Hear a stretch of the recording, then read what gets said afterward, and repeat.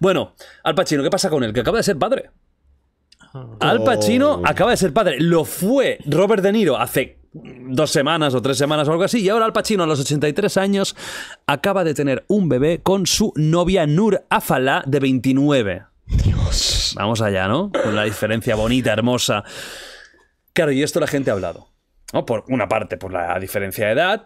Y por la otra, que es la que yo creo que es un poco más jodida, es el hecho de tener un hijo, hija, con más de 80 años. Que ese bebé no te va casi a conocer y cuando ya sea un poco más consciente, o estará muy jodido o estará muerto. Esperemos que no y que dure 130 años Al Pacino, pero que está muy bien, por cierto, Al Pacino está increíble.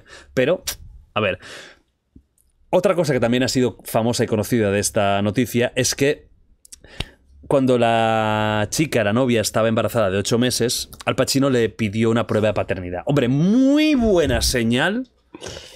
Alguna dudilla tendría. Yo no sé cómo estaré con 80, pero también dudo que con 82 años tú funciones súper bien. Hombre, para en, en la competición esa sueca no vas a estar. No creo que esté. Podría haber un- una, un- una categoría senior, ¿sabes? Pero eso que dure en vez de seis semanas, seis meses. Claro. Para que puedan cumplir de pastilla.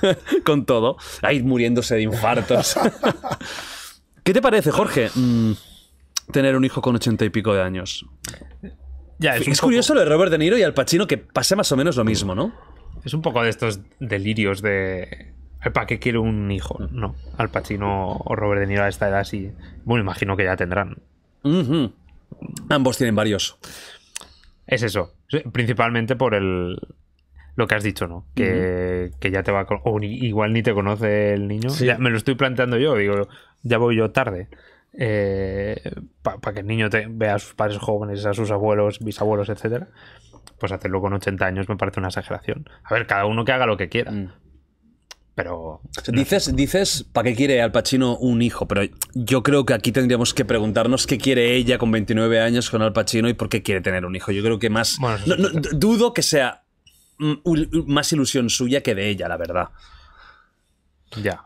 No, hombre, no... Hombre, ella tiene. Se asegura una, Claro. una, una buena vida ya. Tiene tres hijos ya Al Pacino. Este, este será el cuarto, o es el cuarto. Que haya una prueba de ADN, algo, algo significa. O que no se fía, o que no decía que no quería tener, que no quería tener, y acabó pasando. Entonces, algo hay ahí, ¿no, Oscar? Algo hay. Algo hay, algo hay. Eh, te digo, le interesa más a ella que a él, seguramente. Ujú. Él ya con 84 años no, no creo que haya sido decisión suya. Hmm. No tiene pinta. Yo cuando ves estas parejas eh, tan dispares, que yo puedo entender, ¿eh? Yo aquí no pienso solo que las chicas estén por interés, porque al final estamos hablando de una figura histórica. Ya no es estar con un viejo, es estar con Al Pacino. Sí. Y yo puedo entender que haya mujeres jóvenes que esto les parezca sexy incluso. Sí. Al Pacino. Es que es Al Pacino, tío. Y, y hay gente que el físico no es tan importante. Pero claro, el tema de la paternidad, sí que aquí hay, a lo mejor hay otros, hay otros aspectos, ¿no? Y, y que médicamente con 80 y pico años. Ya, eso no sé cómo va. mm, A ver, algún caso de gente excepcional, eso siempre hay. bueno, Papuchi, ¿no? Estaba Papuchi aquí en España. Sí, pero Papuchi no sé con, con qué edad tuvo el, el mayor, ¿eh? Pero ya grande. Era, ya- muy, era muy viejo. Pero yo creo sí. que, eso, que en, la- en las mujeres sí que está claro que hay una edad en la Mm. menopausia y tal que Sí. la dejan, ¿no? Pero con los hombres creo que va más.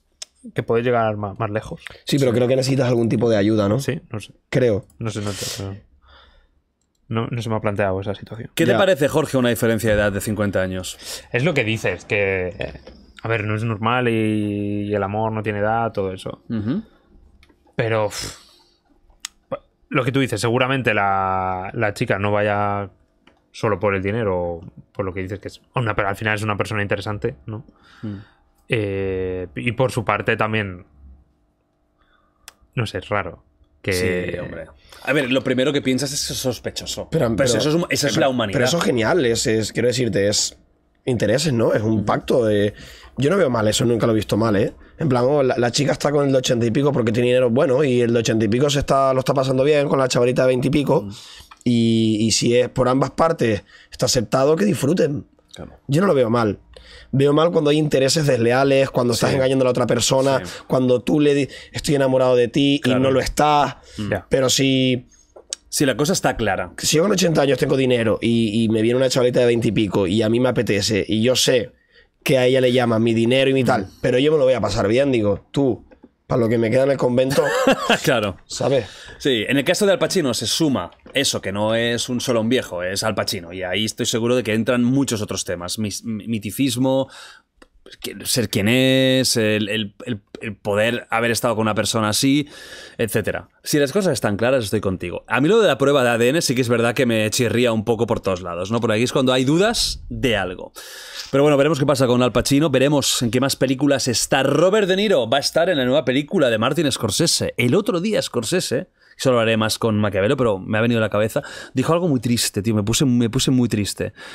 Martin Scorsese es, es- Tú que eres menos de cine, sabes quién es, ¿no? Sí.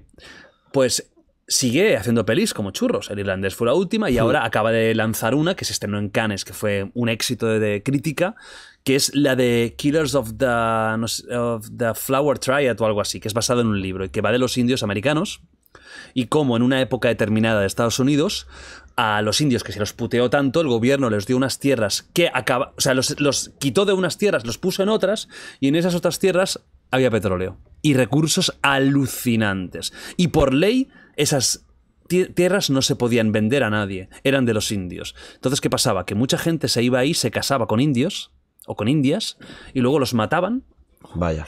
y se quedaban con todo. Y va de eso el libro. Es de un periodista que investigó estos casos, ¿no?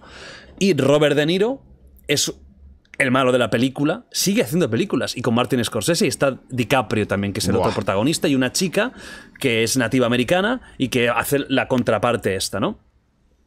Pues Martin Scorsese dijo, eh, le escuché un día a Akira Kurosawa, un director de cine japonés súper importante, que dijo, cuando era mayor, tenía 80 años, 80 y pico, dijo algo así como, ahora empiezo a comprender cómo hacer películas, pero ya no tengo tiempo.